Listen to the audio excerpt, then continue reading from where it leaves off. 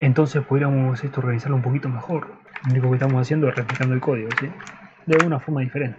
Estamos utilizando la lambda implícita y la otra forma trabajando con la lambda explícita.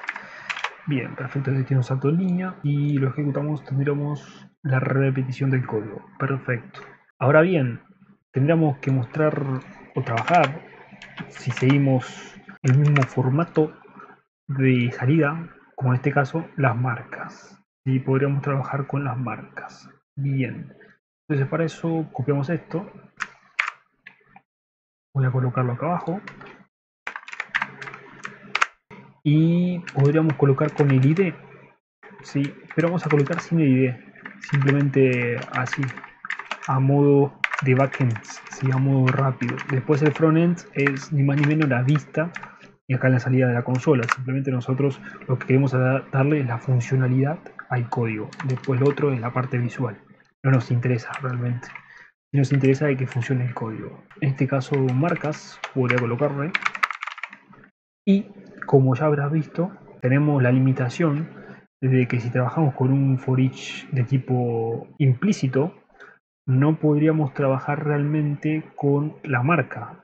O sea, de alguna u otra forma tenemos que invocar el método getter para traer la marca del celular.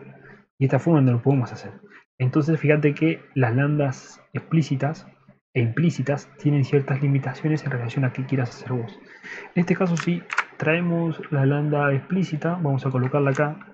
Fíjate que lo que podríamos hacer, si agilizas un poco el ojo, sería traer justamente ese getter. ¿sí? Entonces, objeto celular punto get marca, no traer directamente el atributo marca. En este caso porque es público, vamos a ver más adelante que esto no debería ser así, pero traemos la marca ¿sí? con el getter. Siempre trabajamos con getter y setter. Y de esta forma, listo, ya estamos accediendo directamente a la marca del objeto. ¿sí? No traemos por default lo que es el toString. Acuérdate que nos trae el toString de la clase. ¿sí? Entonces, si nosotros esto lo ejecutamos nuevamente, vas a ver que tenemos todas las marcas, Xiaomi, Samsung, Motorola. Eh, esto, esto se puede hacer tranquilamente también con el ID. Y ya que tenemos esto acá, podríamos mostrarlo con el ID. Bueno, acá un salto de línea no vendría mal. Ahí. ¿Y cómo hacemos para, por ejemplo, traer el ID y la marca? Porque la marca sola no nos sirve.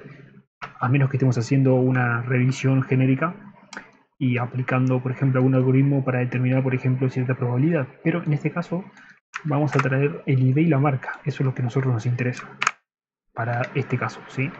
¿Y cómo hacemos eso? Bueno, tenemos que empezar a desarrollar y acá en el system o n lo que es el cuerpo o lo que es la salida. Entonces para eso vamos a colocar, por ejemplo, objeto celular.getID o copiamos todo Sí.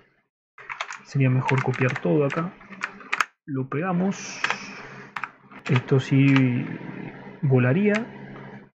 Acá sería, por ejemplo, un string. Para que tenga una visualización diferente. Dos puntos, un espacio. Concatenamos con objeto celular.getID. Ya creo que te diste cuenta lo que quiero hacer. ¿Sí? Después concatenamos, por ejemplo, con otro string que sea marca.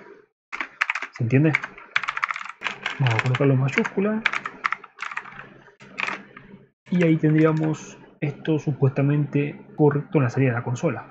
Con el formato este, ID y marca. Si lo ejecutamos, ahí tendríamos exactamente lo mismo. ¿sí?